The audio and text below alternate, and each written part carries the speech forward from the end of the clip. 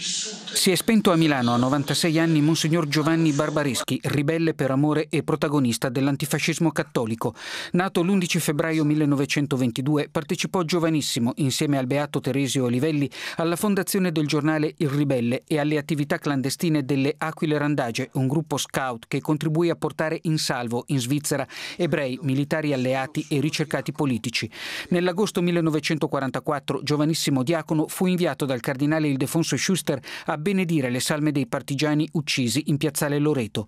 Ordinato sacerdote pochi giorni dopo fu arrestato mentre preparava la fuga di alcuni ebrei, incarcerato a San Vittore e torturato finché il cardinale Schuster non ne ottenne la liberazione. La mia resistenza vera è cominciata così, aiutando degli ebrei, perché mi sembrava doveroso, come è stato per me doveroso dopo il 25 aprile salvare dei fascisti.